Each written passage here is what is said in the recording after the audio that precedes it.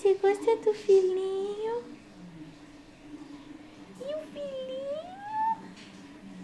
E o filhinho?